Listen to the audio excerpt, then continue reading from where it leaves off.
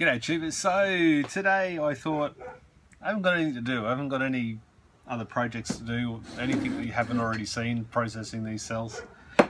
So I thought I'd do something fun, a little bit destructive perhaps. And look, I know the I, I probably know the results of this test, but I've got a few things laying around I'd like to play with. So I've got a solar panel. I've got an old solar panel out there, little um, 36 volt 190 watt panel an old PWM charger.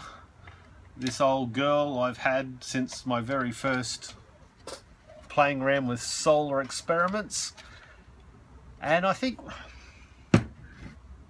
I got one of my little battery, battery packs that I've completely abused.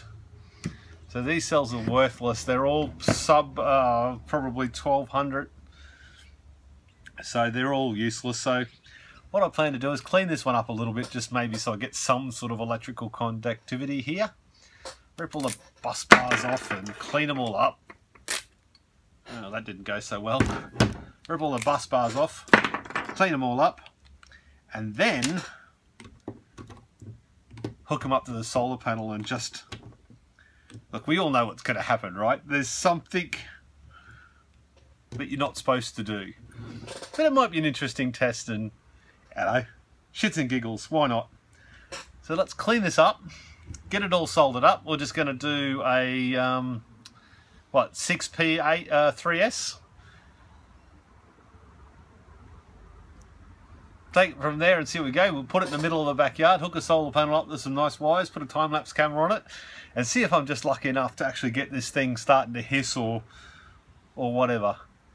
I don't think it's going to catch fire, but I'll put some disconnects and stuff on it so it's reasonably safe, but this is for fun and it was never supposed to be safe. It was just supposed to be what happens when?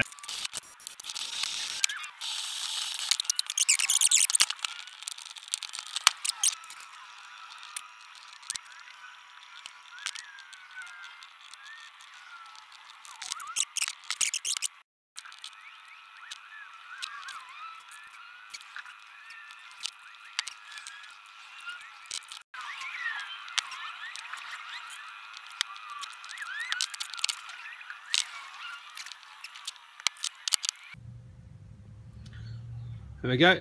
12.3 volts. So now I'll go through and charge all these ones up. I'm just going to charge them up to um, fully charged so the test actually doesn't take too much too too long. I'll solder it all, solder all the, the solar cables to it, and we'll try and charge her up, see what happens. Let's do this. It's a little bit too close, I've got to move it away yet, but I've got the charge controller. I was trying to get the charge controller in the shop, but it's not working, so I'm going to move it away. Um, a charge controller off of eBay.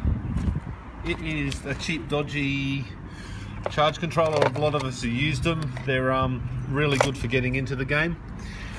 And I've got, obviously, I've got charger for my phone because the phone's going to go flat pretty quick. And I've got that just onto the battery pack.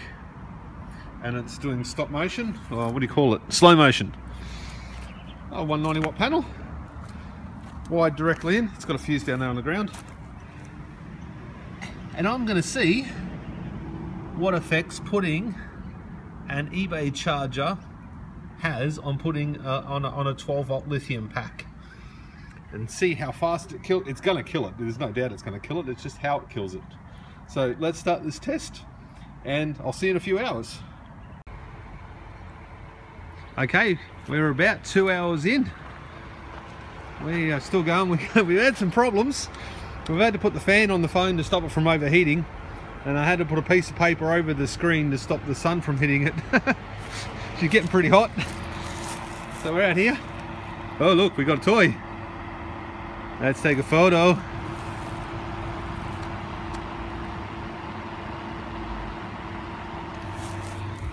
And we see play. She's getting warmer. 48 degrees. There we go. Starting to warm up, see if I can get the crosshairs on that. 50 degrees, the battery's starting to warm up after two hours. It's a bit hard with all the sun out here, she's pretty warm. she's starting to warm up nicely. Certainly a lot quicker than I thought she would have warmed up. Yeah. It's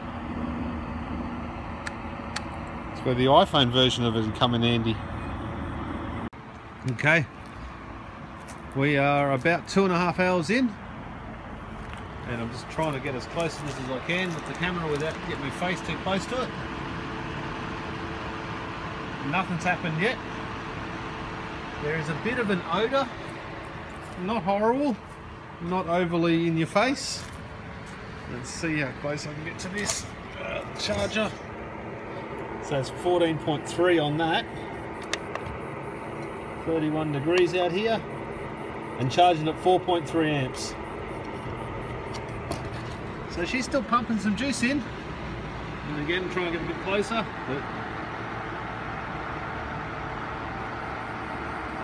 Not much happening yet. We'll continue testing.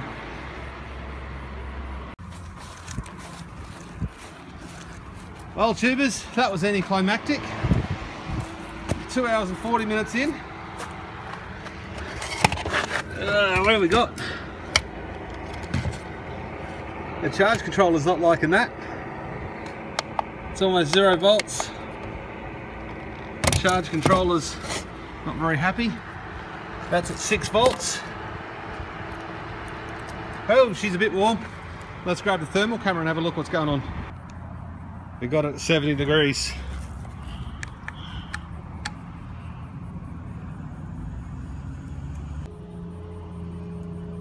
There we go, she's nice and warm. I have to wait until I see the, the slow motion footage and see what happened. But tubers, she didn't catch on fire, so that's pretty anticlimactic.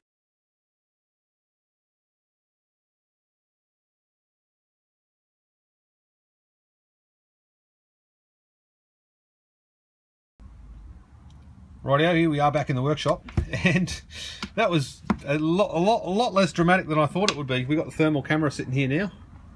Uh, we are at least 10 to 12 minutes after I pulled it out. You can see one cell just there in the crosshatches is just smoking hot. And let's turn this over. We've got voltage of 9 volts, so I'll get rid of that. Turn this over to the other side. Obviously you can't see the cells inside, but then we got one that's just ripping hot on that side as well. So that's the cross hatches saying it's 70. Go down to there, it's 53. So, geez, that's hot. Spin that round. You can see those ones in the center there are way hotter. That center group are all really hot. Spin it over the other way.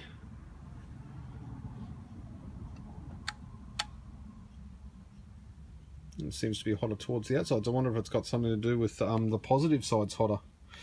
Okay, so what was the result of this interestingly boring test that took an awfully long time to do? Um, first and foremost, this broke. As you can see from the video a few minutes back, the screen went, I, I, I was moving the camera around, I didn't get a very good shot, but the screen went very, very dim um, a minute or so later the screen went out and this completely died and now won't even power up anymore. So this died. Why did that die?